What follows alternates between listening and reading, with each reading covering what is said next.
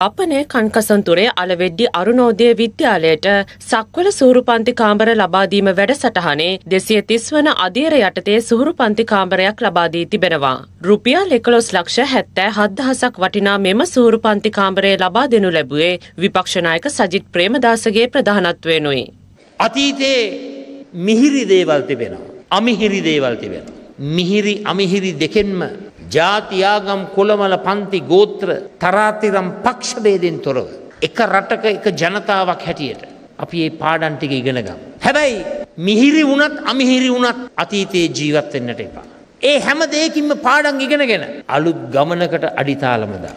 මම ඔබට වගකීමෙන් මේ ප්‍රකාශය කරන්නේ කවදාවත් මේ රටේ ඉතිහාසයේ විපක්ෂයක ඉඳගෙන කිසිම දේශපාලඥෙත් කිසිම දේශපාලන නායකෙක් රටම ආවරණය වෙන සංවර්ධනයක් කිසිම දවසක කරේ නැහැ. ඒ නිසා යාපනයේ දිස්ත්‍රික්කයේ ජනතාවට මං කියන්න කැමති මාව විශ්වාස කරන්න.